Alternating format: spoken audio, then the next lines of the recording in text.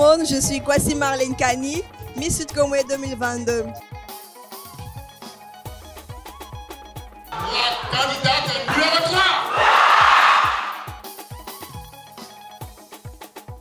Alors aujourd'hui, on a été invité par la LUNASI. C'était vraiment une journée très intéressante. On a même fait une petite compétition de cuisine.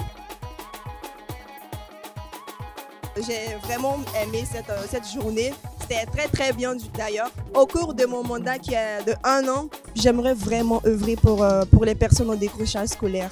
Oui, parce que c'est un, un- un sujet qui est d'actualité et qui me tient vraiment à cœur. J'aimerais venir en aide à ces personnes car euh, elles ont, ces personnes ont laissé l'école malheureusement pour plusieurs causes.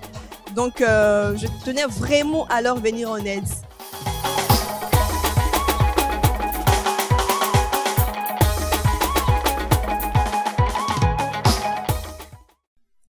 L'ONASI, on a tous une bonne raison de jouer.